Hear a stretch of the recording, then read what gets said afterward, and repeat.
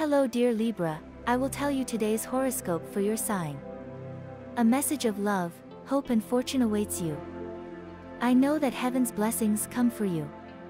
And the message for you on this day is the following. Libra, March 17, 2024.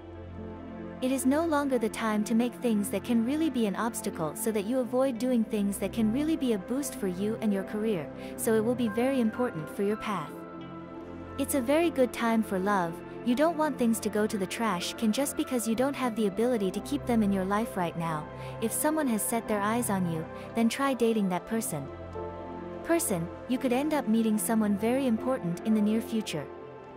All the things that come into our lives have a reason, that also depends on the opportunities that we give ourselves and that other people give us, so don't let things stop happening on their own, you have much more to fight for and try hard.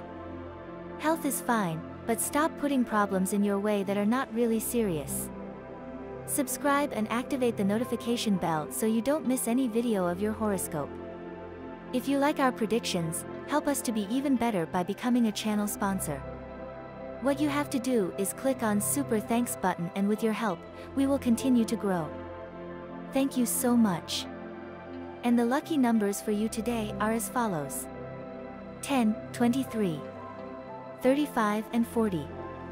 And the color for you to generate positive vibes today is black. And today's advice for the day is the following. There are times in life when we have to give up certain things, so really don't make everything more complicated than it should be. In matters of love.